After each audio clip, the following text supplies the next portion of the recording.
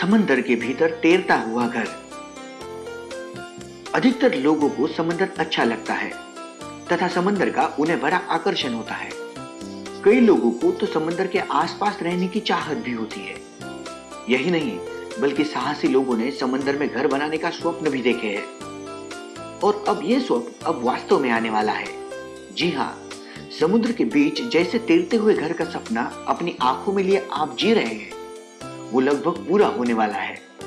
Jet capsule नाम की एक इटालियन कंपनी ने ऐसा एक घर डिज़ाइन किया है, जो पानी पर तैरने की क्षमता रखता है। जेट कैप्सूल यह इटालियन कंपनी ने डिज़ाइन किया हुआ एक घर, यूएफओ के समान दिखता है। इस घर का आकार एक डिस्क की तरह है, तथा उसके ऊपर सोलर पैनल लगे हुए हैं। समंदर के बीच बन रहा यह घर इसमें रहने वाले व्यक्तियों को कहीं ले जाने की क्षमता भी रखता है। और यह इसमें लगाए गए जेट प्रोपेलर की वजह से संभव है।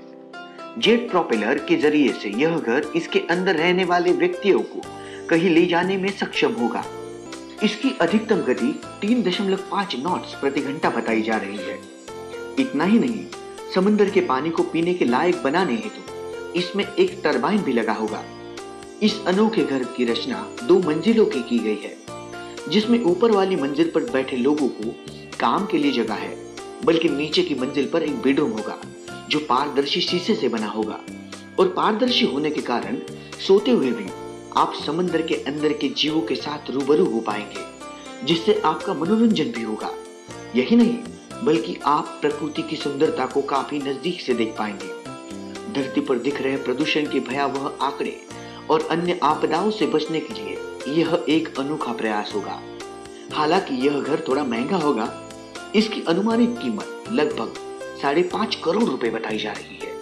किंतु यह घर प्रकृति की गोद में रहने के कारण इसके मूल्य की हम गिनती नहीं कर सकते।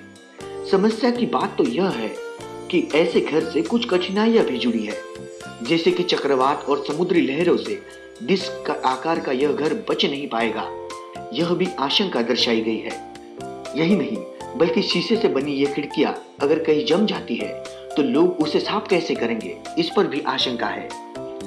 खैर नई नई तकनीकों के द्वारा डिज़ाइन किया गया यह घर भविष्य में सफलतापूर्वक पूर्ण हो गया तो यह प्रकृति का सुंदरता दिखाने वाला तथा सबसे अनोखा घर होगा। ऐसे ही रोमांचक तथ्यों और जानकारियों के लिए सब्सक्राइब करें हमारा चैनल वेब हिंदी